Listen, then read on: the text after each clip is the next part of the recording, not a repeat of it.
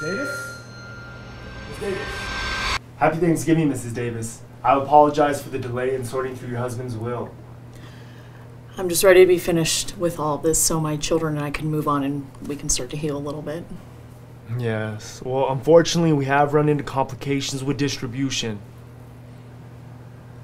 And what kind of complications? Another beneficiary? I can't say. You can't say. I mean, is it a charity? Just some other person? Who? I'm not legally allowed to disclose that information to you. Look, this doesn't make any sense. I was his wife. Yes, I, I do understand, Mrs. Davis, but your husband was very clear. I mean, he oversaw preparations and he actually signed it himself just four months ago.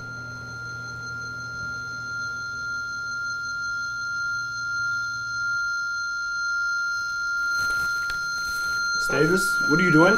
Hey, Mrs. Davis! Mrs. Davis! Ah! Ah! Ah! Mrs. Davis! Mrs. Davis? Mrs. Davis! Are you alright? yeah, I'm I'm fine.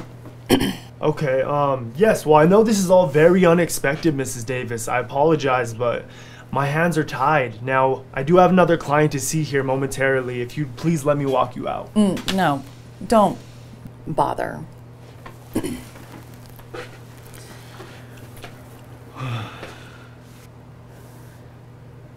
and don't for one second think that this is over. I'll be back. Okay, well, you have a good rest of your day, Mrs. Davis. See you soon. Bye bye.